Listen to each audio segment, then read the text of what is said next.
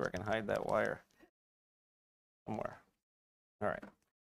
Acts chapter 2. We are going to continue with this. And by the way, we will get back to that King James Bible study or the, the history of the text and the King James Bible eventually.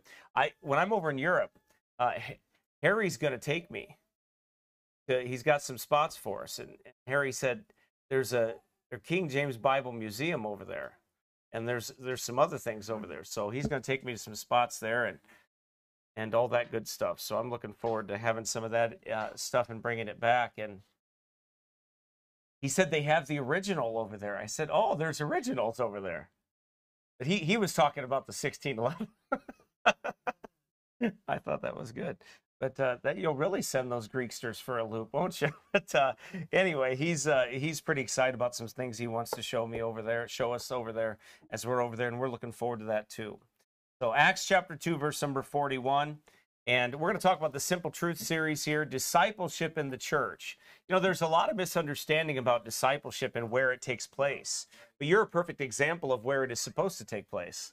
And uh, that's that's actually where it does take place, and the connection between you know it, when we started this series off here a few weeks ago, we started with the simple truth about salvation, from the scriptures, which is a very simple gospel message that is important for everyone to hear.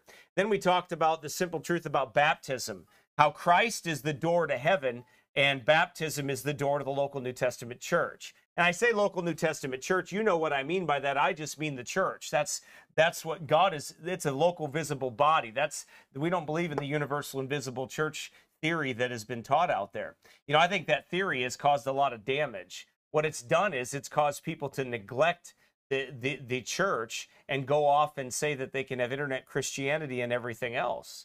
You know, and, and that, that their church is this all one body, one invisible uh, uh, group, and that's not what the scriptures say. So anyway, but that that has been perverted. That's an Augustinian doctrine that came in, and it is it is definitely perverted uh, the uh, the truth of of the church in the scriptures. But discipleship is not separated from the Lord's church.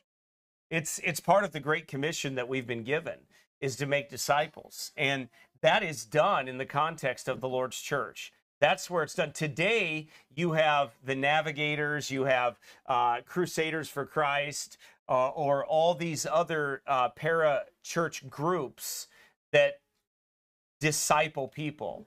Well, that's not where the promise is, and we're going to get to that today. The promise of perpetuity is to the Lord's church. It's not to any of those groups.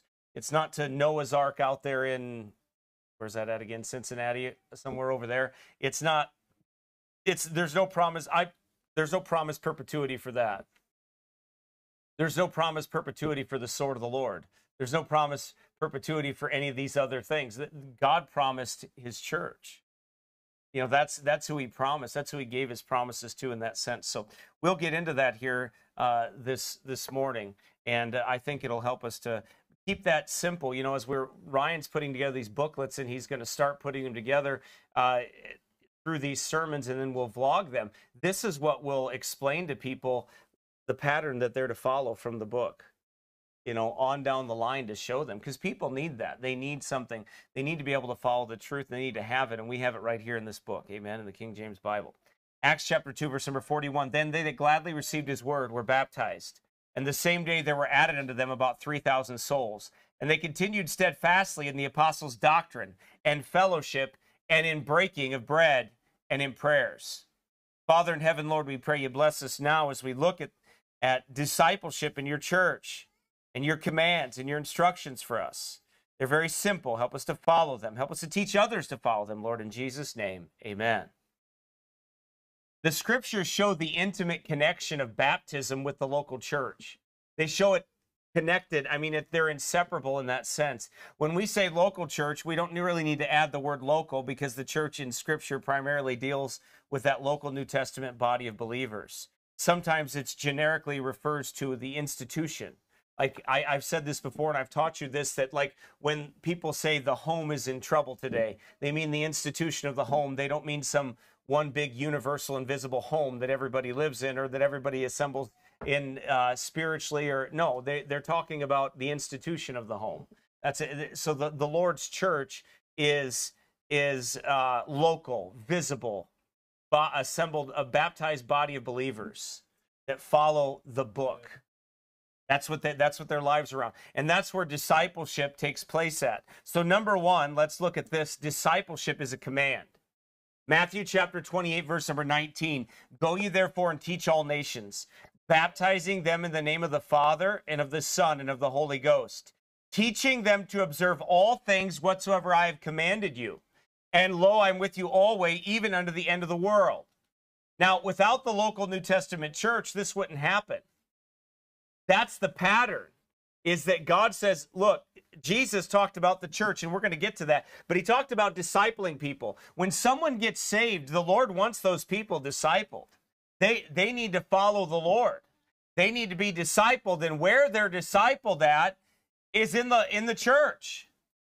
That's where they're to be discipled at. That's the everybody else has another way to do things today. They have other things going on that aren't a part of the local New Testament church. Well, that's not scriptural. God's order is the church. That's that they would be saved, they would be baptized, and they would be members of local New Testament churches. I'm going to show you the importance of that a little bit later in this. But we're to teach those that are saved and baptized to follow Christ. Discipleship involves teaching them to observe all things whatsoever I have commanded you. Well, where do we have all things? Right here. If you didn't have all things, you couldn't obey that. So in this book right here, I have all things that he has commanded me. Amen. That's a that's a wonderful thing, isn't it? It's good to be able to know that everything that God wants me to know is right here in this in this book.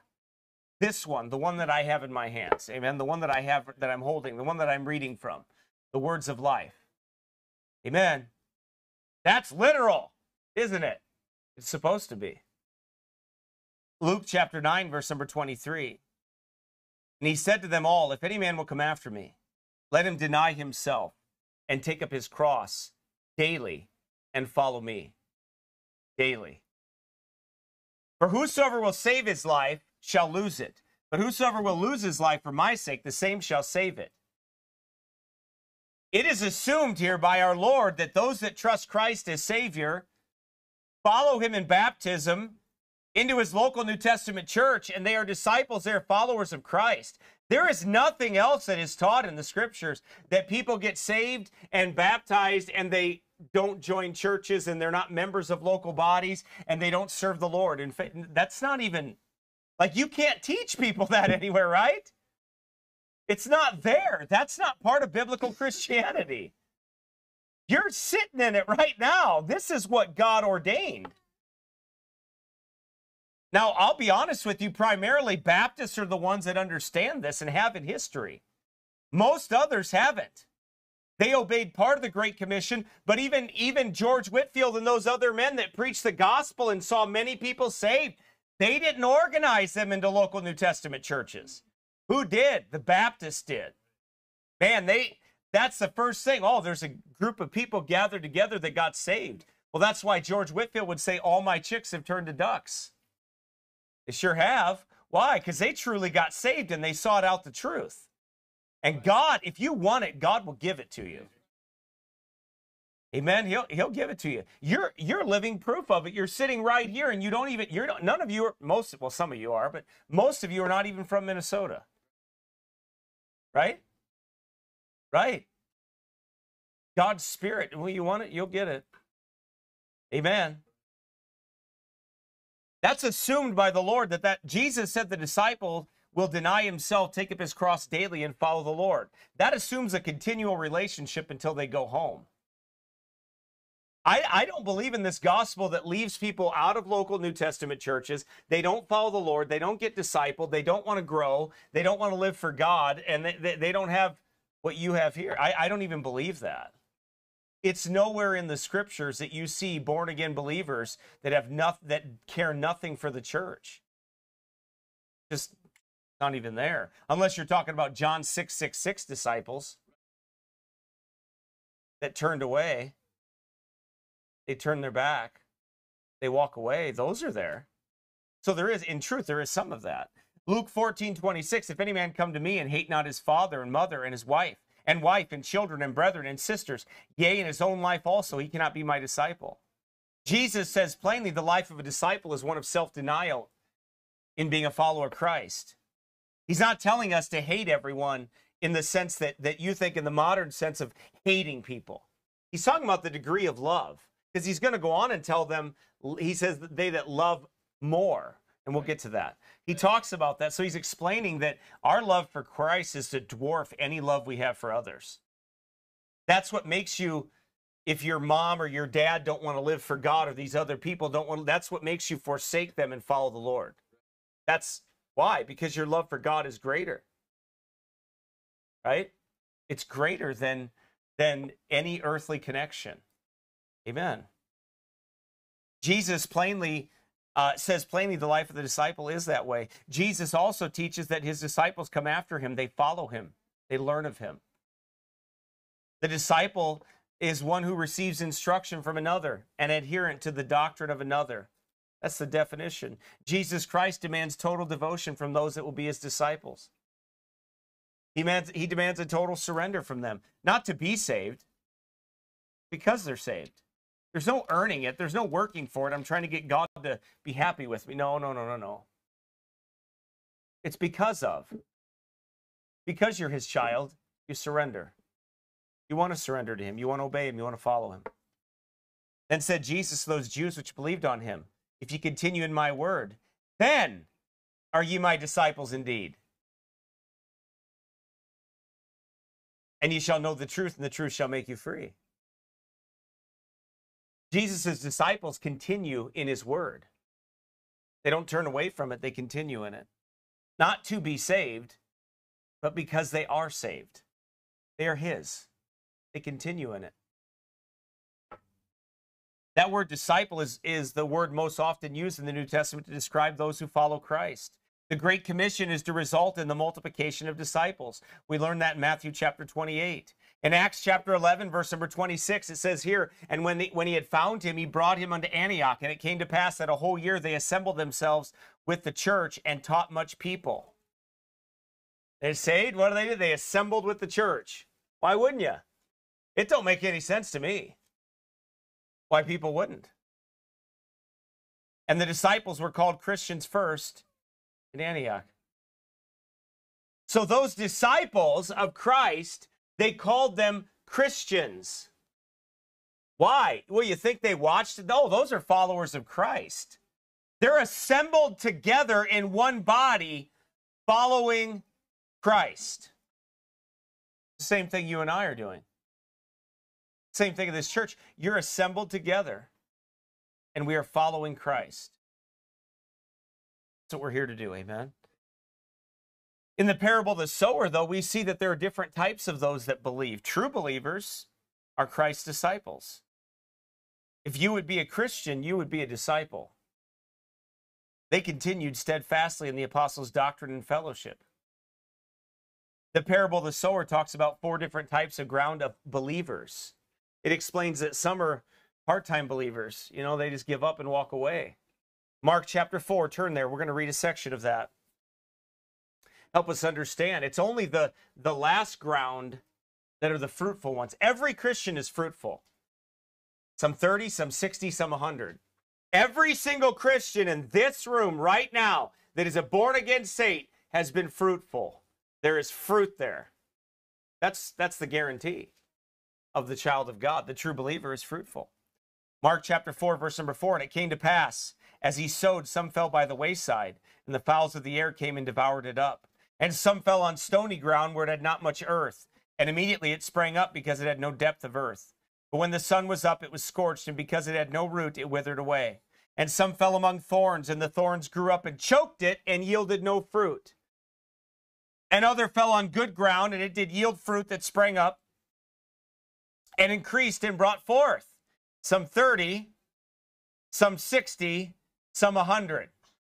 Three grounds are the same and one is different.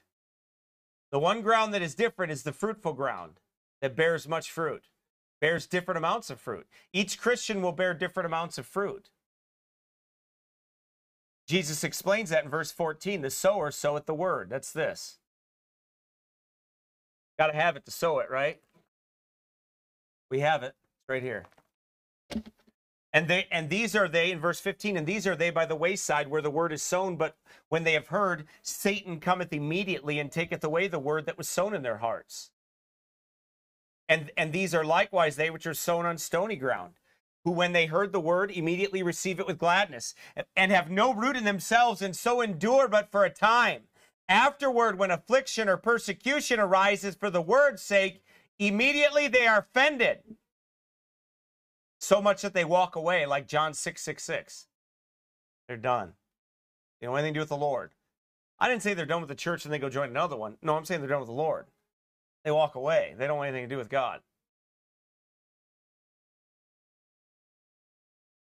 And these are they which are sown among the thorns, such as hear the word, and the cares of this world, and the deceitfulness of riches, and the lust of other things enter in, choke the word, and it becometh unfruitful. And these are they which are sown on good ground, such as hear the word and receive it, and bring forth fruit, some thirtyfold, some sixty, some a hundred. These are fruitful Christians. These are born again believers. These are disciples of Christ. That's the people in this room that have been saved by the grace of God. You look around you. You can see the fruit. Visible, right? Could see it. Christians, God, eh, Christian, God believes in multiplication. We we multiply. Be fruitful and multiply. God, every single person in here has that aspect that has been saved by the grace of God of multiplication. They can look around and they can see it. I can see it in your families. You were some of you were saved long before you ever had children and you look down and you see your children. Now you see some of your children married and they're and they have a wife and they they have ch- children and they're serving the lord. What is that? That's multiplication. That's fruitfulness. That's the fruit. It beareth fruit. Amen. That's god's way isn't it? There so that's that's what god does. That's the work that god does. So that's the work that you and i are commanded to do. All true followers produce fruit. They grow. They learn they're disciples of Christ. They reproduce after their own kind. That's what God does. He does that work in them. I can tell you this before I was saved, I had a lot of works that I'm ashamed of.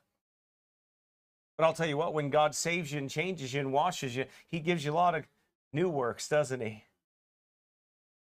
Things that were never, you never lived that way before. You never loved those things before. God gave them to you. He made you love them. He changed you. They're also called sheep, aren't they? God's people. They're called sheep. They're to be in a flock. John 10 26. But ye believe not, because ye are not of my sheep, as I said unto you. My sheep hear my voice, and I know them, and they follow me. And I give unto them eternal life, and they shall never perish, neither shall any man pluck them out of my hand. My Father which gave them me is greater than all, and no man is able to pluck them out of my Father's hand. Sheep don't turn into goats. Amen. Now, here is where that transition into where the primary discipleship of the believer or the Christian takes place. Because sheep are to be in a flock, if you are a sheep, then you should naturally want to be with other believers. So, how then are men and women discipled? Number two, the local church is the primary place for that discipleship. It is God's ordained way.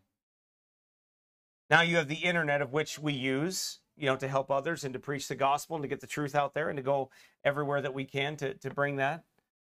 And others use to preach the gospel and teach men the scriptures. But the unique thing about our online ministry is this, is that it is out of a local New Testament church. That's, that's the difference. It is a ministry of Old Paths Baptist Church.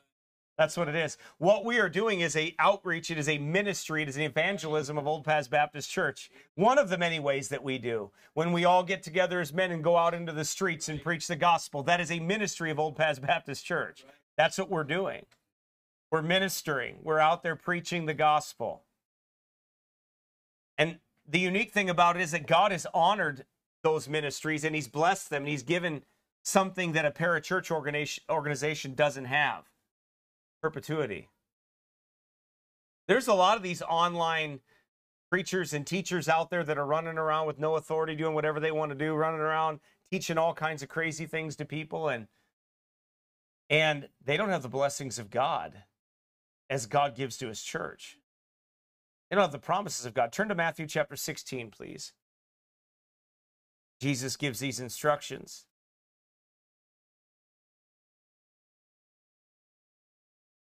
He says this, and I say also unto thee, that thou art Peter, and upon this rock I will build my church, and the gates of hell shall not prevail against it. And I will give unto thee the keys of the kingdom of heaven. And whatsoever thou shalt bind on earth shall be bound in heaven, and whatsoever thou shalt loose on earth shall be loosed in heaven. God's churches are promised perpetuity. God said that he would always have a church, that he would always have churches here. It's promised that Christ will breathe life into it and that the candle will not go out if they continue in his word. Amen. So then, if you would be discipled, it should be through his church. That is the place of all true discipleship. The church is the proving ground for disciples. Nothing tries a believer's faith like being in a church. Nothing. Man, you could be the best Christian you know when you're not in church, when you're away for when you get in church and we're all together and we all have to learn to love one another and and our patience is tried, this is where your love is tried. This is where you, the trial of your faith is. This is where you learn to love people is right here in this church. Not just the immediate people that are in your family that you know uh, or those that are in submission to you or or anything like that, but but other brothers and sisters in Christ that you all have, we all have different personalities. We all have different thoughts and different understandings and and and we all come from different backgrounds and things like that. But guess what? The church, God says, no, you're all baptized into one body. You're all together. So guess what? You got to love each other. By this shall all men know that ye are my disciples if you have love one to another. Love is the defining attribute. It's the one that, that is seen. God doesn't say that to lost people because they don't know how to love. They can't love Christ's way. Their love is putrid. It's putrid. It's wicked. It's not, it's not biblical love. That's why, why do you think when you go out there and you preach biblical love to them, they look at you like you hate them? They look at you like a rebellious child that's going to get a spanking, looks at you when they're done wrong. You don't love me. That's just the opposite. We do love you. It is love. That's what love is. Is correction, instruction. Telling people the truth. It's not love to lie to them. The church is that proving ground, though. Look what Ephesians 5 says. What the Lord does with this. Ephesians 5, good lessons for husbands, but also for the church. He, Christ explains as Paul explains this. He was given the mystery of the revelation to explain all these things, and Paul explains them. He says in Ephesians 5 25, Husbands, love your wives, even as Christ also loved the church and gave himself for it. For what reason? that he might sanctify and cleanse it with the washing of water by the word. The church is to be cleansed by the washing of water by the word. Right here. It's the word of God that cleanses the church. Jesus uses it that he might sanctify and cleanse it, right? That he might present it to himself a glorious church, not having spot or wrinkle or any such thing, but that it should be holy and without blemish. So then Jesus died for the church, and he desires that believers in Christ that are true disciples of the Lord are washed in the word in the church. He didn't give it to Campus Crusaders. He didn't give it to the Navigators. He didn't give it to AA or the Billy Graham Association. It's the church. He gave his commission to the church. The church is to make disciples. That is their primary concern after the glory of God, of course, is to preach the gospel and to make disciples. Turn to Ephesians chapter 4, please we're given instructions here. Paul is going to explain some things about the church, the body. And by the way, the importance of this is going to come when you really analyze and look at Jesus's words, because there's some things that happen to, to Christians, and we need to understand that and how God gave us the church for that reason. Ephesians 4 4, there is one body and one spirit, even as you're called in one hope of your calling. one Lord, one faith, one baptism, one God and Father of all, who is above all and through all and in you all. But unto every one of us is given grace according to the measure of the gift of Christ. Every one of us are given grace to exercise where? Here. Now look at verse 8. Wherefore he saith, When he ascendeth up on high, he led captivity captive and gave gifts unto men. Jesus gave gifts unto men. Now that he ascended, what is it but that he also descended first in the lower parts of the earth? He that descended is the same also that ascendeth up far above all heavens, that he might fill all things. And he gave some apostles. Amen. Some prophets and some evangelists and some pastors and teachers for the perfecting of the saints. Where are the saints perfected? In the church. He gave the gifts, he gave the offices, he gifted each person in the assembly with certain spiritual gifts, but he also gifted them pastors and teachers and just like you're going to see men teach and preach the Bible to you when we're gone. Why? Because he's gifted men with that in his church to be used in his church. What's the purpose of it? For the perfecting of the saints. That's the purpose. God gave you one another for your perfection. I want you to think about that for a second. I want you to look around and understand those that are not here, uh, they're included in this, but I want you to understand that that God gave them, God gave us one another for our perfection, to mature us, to make us what God. And by the way, that means every single one of us. You understand that? There isn't anybody left out of that. That's all of us. All of us that were baptized into that one body. All of us that are a part of that. All of us that are here. All of us that are saved and baptized. God gave for the perfecting of the saints to mature us, to make us what God wants us to be. For the work of the ministry. The perfection is for what? So I can brag about how good I am. No. No. It's for work. For the work of the ministry. And get and for and for what else? For the edifying of the body of Christ. That's you, that's us. For our edification. All of us are here for the edification, not the condemnation of each other. You understand that? We're here for the edification of one another, not the condemnation. Everything that we do ought to be in a constructive manner in order to edify our brethren. Now, sometimes that, that involves correction and instruction, and that doesn't feel good. That doesn't that doesn't make us feel really great sometimes. That's really hard to take. But you know what? It's for our edification, not our condemnation. That's there is no condemnation in them that are in Christ Jesus, who walk not after the flesh, but after the spirit. There, there's no condemnation. Everything that, that God does here is not for anyone's condemnation, for our edification. And each one of you play a part in that edification. Each one of you, male, female, doesn't matter.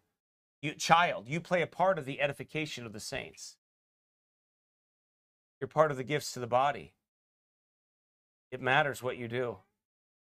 It matters that you, and it matters that you're faithful and you're in the place that God wants you to be. I'm going to tell you what. I understand being sick and not coming in and, and things like that. I, I get it. I, I don't want you to come in puking and hacking everywhere and making everybody sick and all that kind of stuff. Uh, but the but barring that, don't let them or you know you're have to sleep or whatever. I, I get it. Okay, work and stuff. That those things come up. But barring those things, don't keep yourself away from the house of God. The church, your brethren needs you. See, I don't feel like to, yeah, I don't, yeah, you may not feel like it, maybe you're going to do something to help somebody there. Maybe they need you there. And you, and you don't come. I understand, like I said, sick, tired, and working and all that. We get it. I'm not talking about that. I'm talking about just don't let anything else keep you from your place of faithfulness. Don't let the devil get into your mind and keep you away discourage you and say, Well, I'm not going to show up today. Don't let the devil do that to you. Don't let your fallen flesh feed into that and do that. There's a purpose for you to be here for the perfecting of the saints, for the work of the ministry, for the edifying of the body of Christ. He says, till we all come in the unity of the faith. He's not leaving anybody out. All of us. We, the church is like, it's one body. And you know who I'm talking. I'm talking to you when I say the church. It's just like when I say the scriptures. I'm talking about this. When I say the church, that's you. I'm talking to you. That's us. Us okay? I'm not i'm not speaking of some universal invisible book that's not here and i'm not speaking of some universal invisible body that's not here. I'm speaking of literal here. I'm talking to us. And i'm talking about a book that i can hold. I don't believe in them fairy tales those boys tell about their spiritual stuff that ain't around. I believe what i got right in front of me and what i'm seeing right before me. Amen better remember that i'm getting excited now yeah till we all come in the unity of the faith together. We are we are one body marching to Zion. Do you understand that? We're not just a bunch of separate people that gather together in that sense. No, we are one body marching forward with our armor on, headed to Zion. That's who we are. That's you have to that's the importance of the believer and that's the importance of the disciple being in the local New Testament. This that's why God gave us this. I believe that. Otherwise, I wouldn't travel all across the, the, the, the, ocean or wherever I'm going, Andrew. I'm not good with those. But somewhere I'm flying over that way, somewhere, eight hours. I don't know. I'll wake up sometime and I'll be over there on the other side of the pond. But, uh, and, and I'm not, I'm going over there because I believe that. I believe that everyone ought to have what we have. Don't you? You know, I, I'll tell you what, there, there, there's a temptation. Let me let, let me share with you a temptation that I that that that I had here in that sense. There is a temptation for me to look at somebody like even I, I thought about Carl and Mary and their situation, how they had like a church that over there they were visit that doesn't preach repentance, doesn't preach keepers at home, doesn't teach the things that biblical thing, just biblical Christian like like this, like out of the book, right? And just teach it straight and plain and simple for men to understand. And my temptation was, I'll be honest with you, say, well, uh, at least they have a place to go. I, I thought about that. I just I, I said that to myself, and I thought, you know what? Is that what you would do? Is that what you would want? Is that what you would want for your family? No, I wouldn't. So why would you want any less for them? And that stuck me. It got me. I was like, oh man. Yeah, why would I? Amen. Amen. So we press on. Till we all come in the unity of the faith and the knowledge of the Son of God unto a perfect man, mature. This body is to mature us. You understand that? It's to mature us. Every single one of us, this body is to mature us in the faith. Now, I'm, I'm gonna I'm gonna give you a question and then an answer to that question real quick. So, Pastor, are you saying that Christians, Bible believers that don't that aren't a part of a local New Testament church will never mature as God wants them to? Yes. That's what I'm saying. I, I believe that. Don't you? I have to believe that. Just like I have to believe that this book is perfect. I, I have to. If I didn't, I'd be doing something else. I wouldn't I? That God perfects his saints in his church. Unto a perfect man, unto the measure of the stature, of the fullness of Christ. Guess what? That's not the measure of you and I. We don't, uh, comparing ourselves among ourselves is not wise, right? So it's looking at each other and thinking, well, I'm better than them, I'm better than this guy, or no.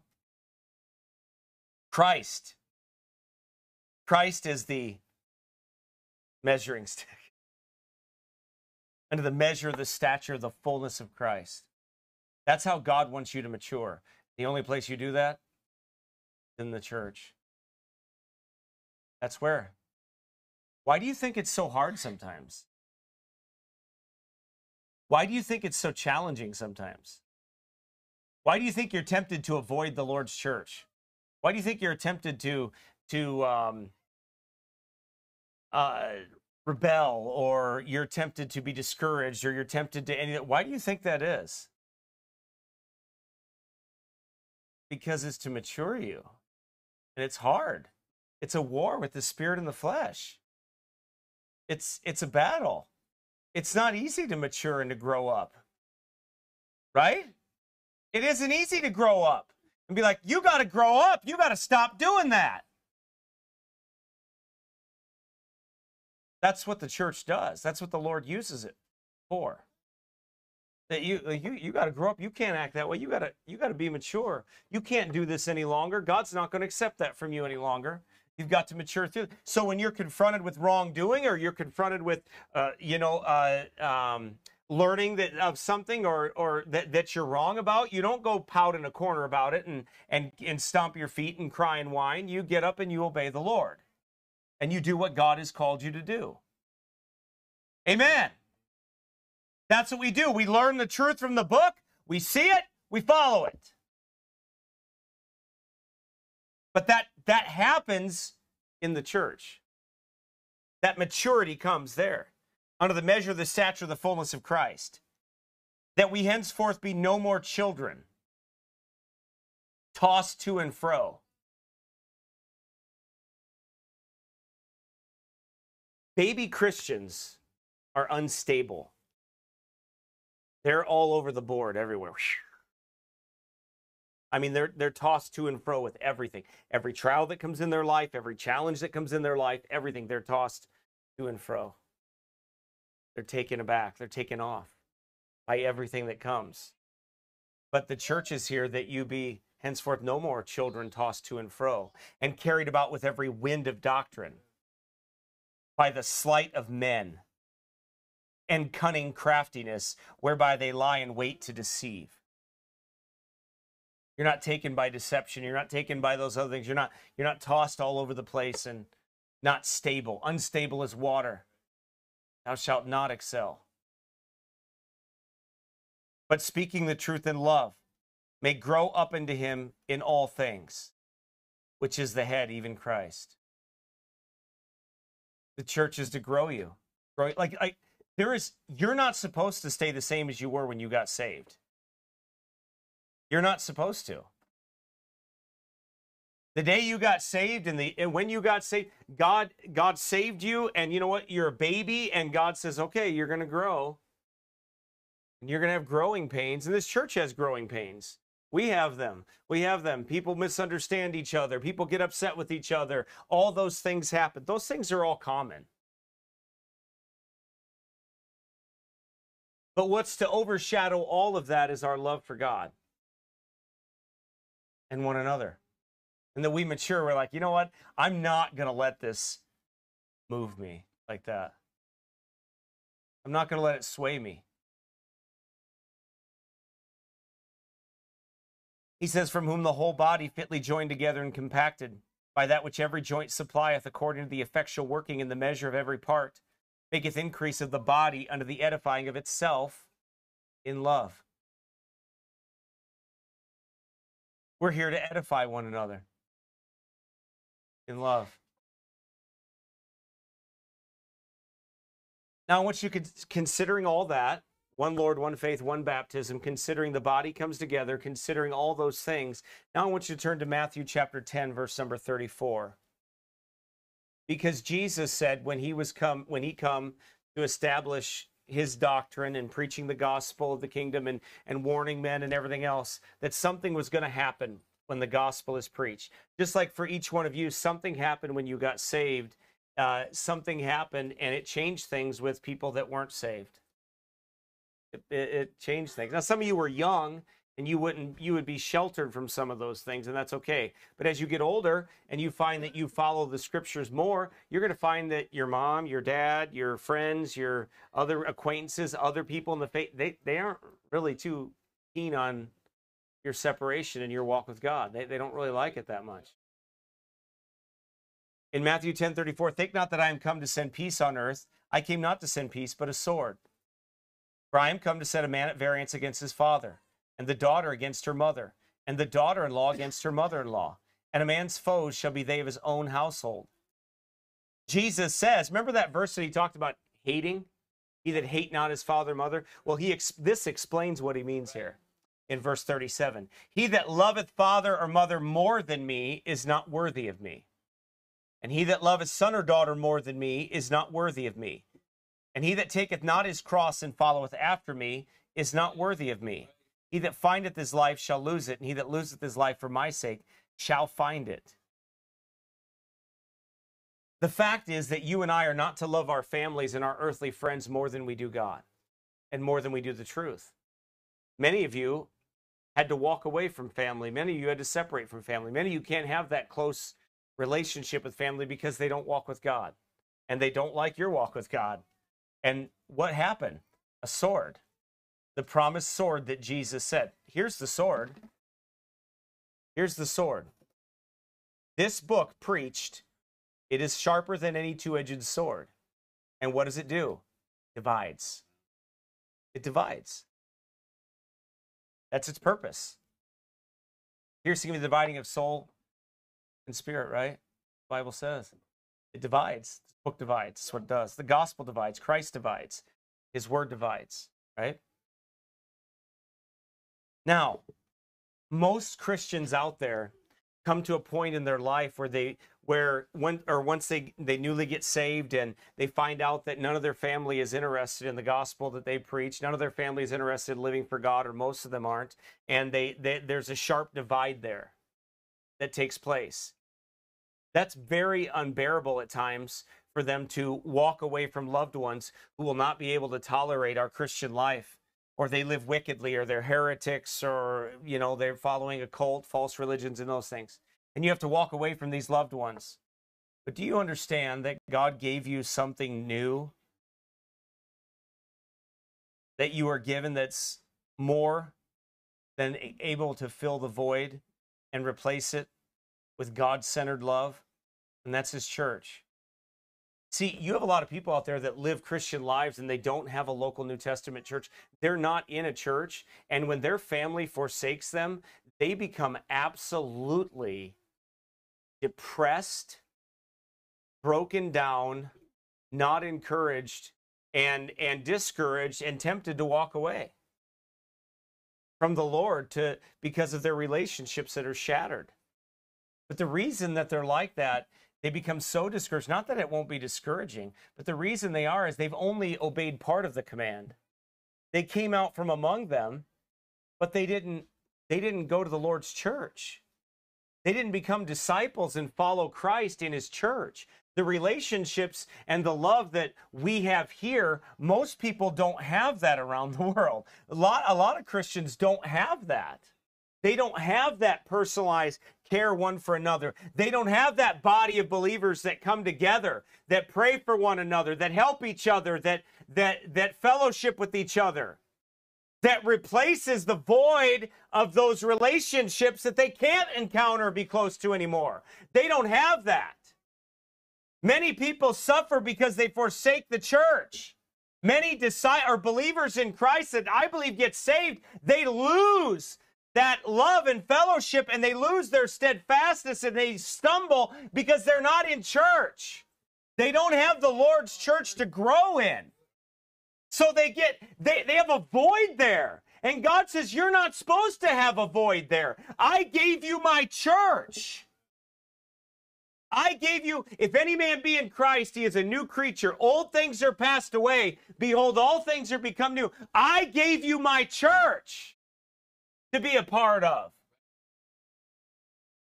That's what the disciples did in Acts chapter 2. When they got saved, what did they do? They that gladly received his word were then baptized and were added unto the church daily, such as should be saved. They added to, they automatically, they were done. The old life, man, it was over. They, they were going to be hated because they were Jews. But God gave them the church and the Holy Ghost in them as believers, but also in the body, assembled together. Many people, they don't follow God's way of discipleship after they, many believers and being a part of a local body. Christ has an intimate connection with his little flock. The whole reason I believe the Lord has taken care of this ministry trip and everything that he has provided for us and will bless it is because of his church. I believe that. The reason the online ministry has been blessed the way it has is because his church. This is his church. That's a ministry of his church. That literally nearly millions have heard gospel messages all around the world from this little church. Because the Lord promises his churches perpetuity. Those believers come together in the local church. They're called his body. We are members of his body, of his flesh, and of his bones. 1 Corinthians 11, 29, he that eateth and drinketh unworthily eateth and drinketh damnation to himself, not discerning the Lord's body. You understand what the Lord's body is, don't you? How the church is a picture of his body. It is his body, spiritually, literal, local body. 1 Corinthians 12, 13, for by one Spirit are we all baptized into one body, whether we be Jews or Gentiles, whether we be bond or free, and have been made all to drink into one Spirit. For the body is not one member, but many. God never meant for sheep to be alone. God never meant for you to be alone. He meant for you who are saved to be in local New Testament churches, for you to serve the Lord and be a part of the body. And the church is the primary place for instruction. Look at the text again that we henceforth be no more children tossed to and fro Ephesians 4 14.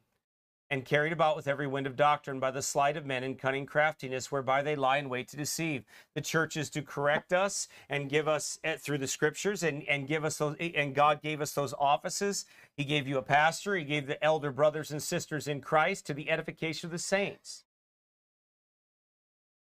This is the perfecting ground, and there is no other place you need to be than His church till you go to heaven. You know, there are all kinds of crazy doctrines and things that are taught out there, but if you want to grow and be what God wants you to be, you need to be discipled in a Bible believing Baptist church. That's God's way.